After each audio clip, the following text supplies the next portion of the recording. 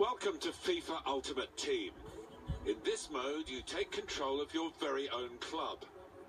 Build custom squads, participate in the world's most active transfer market, and compete in single player and head-to-head modes. Pick a captain to get started, learn the basics of building chemistry, and play a special one-off match.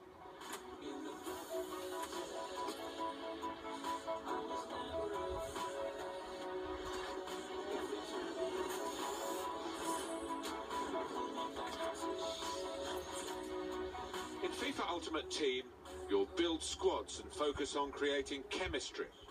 Building squads with good chemistry means your players will perform better on the pitch. There are three main components to chemistry. Position, links, and your manager. Changes to your team chemistry are reflected by the rating shown here on the right. Having higher team chemistry will make your players even better on the pitch. Now let's review one of the key chemi- You'll notice that your right midfield... Great job! Next, let's work on improving the links between players. Links between players are built by matching club, nationality and league. The more of these that players share, the stronger you'll note. Well done.